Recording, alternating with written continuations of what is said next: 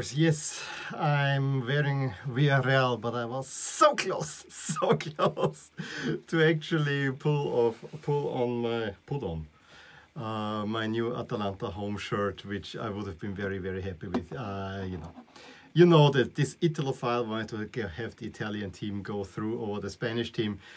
Uh, but yeah, what can I say? Um, you know, I saw it, and I will.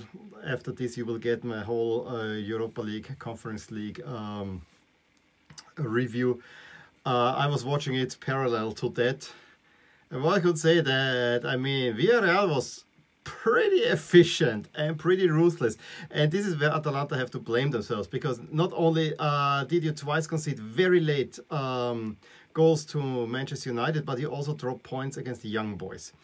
And these three games, this is where you lost a pretty good position to advance, and especially the draw at Young Boys, because if you get the draw there, then suddenly you only need a draw. So Atalanta needed to go all out, and what uh, needed to do is hang back and counterattack. And we saw in this game how well they can do that. Absolutely. They were ruthless. Absolutely.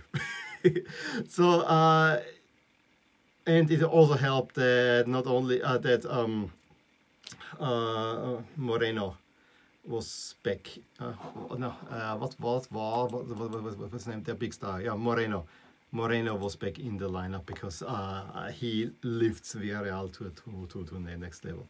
But yeah, uh, first counter attack and Danjuma, uh, Danjuma uh, scores the leading goal for Atalanta through the legs of the goal, goal, goal, goalkeeper. And it was kind of this weird thing. Uh, Atalanta storming forward, they going forward, losing the ball, uh, the ball, and there was no security on the on the on the back. And so yeah, uh, they could see that goal. But then, not that there was a fury, but there were a few chances, especially a free header after a free kick that needs to go uh, in.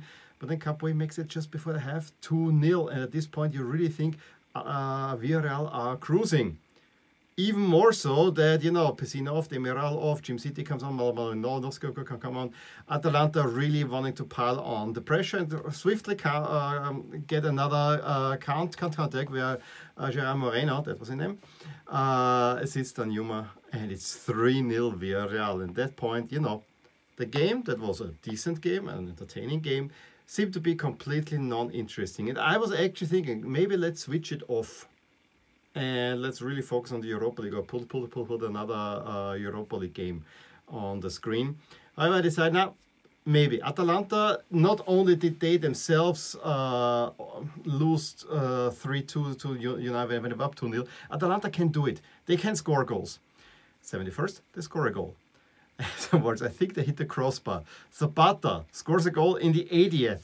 They hit another time the crossbar. I think another time the, the, the, the post. So the chances were there that they score four goals. It was absolute pressure. The only thing is that in the last five to 10 minutes, including Stosas time, the pressure, uh, then Villarreal could uh, hold off Atalanta. But for a 15 minute period, it was very well right there for Atalanta to do the miracle and get that win. I mean, even a draw would, would, would have been already a big result.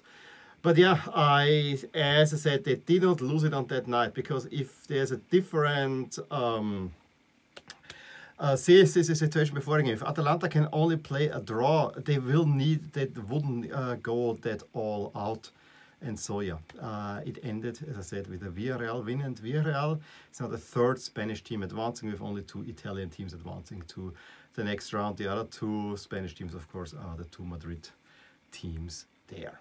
So yeah, that was it. Uh, did you watch the game yesterday? I would like to know what you uh, thought about it. I will probably do a video on the ahead of the draw. Uh, you will go also what this result means now for chances of winning the Champions League and and, and so on in, in the StatsCast, which will should also come out later today. So yeah, just let me know uh, your thoughts. But I, there is more information coming. Uh, but still have to work on that. In any case, give me a thumbs up if you enjoyed this video, subscribe to my channel, we'll see more. I will talk to you soon. Bye. Hey there, I really hope you enjoyed this video and if you did, here are some videos and playlists that you might enjoy too. Also, please consider subscribing to the channel and click the little bell icon so that you get updated whenever anything happens in my soccer universe.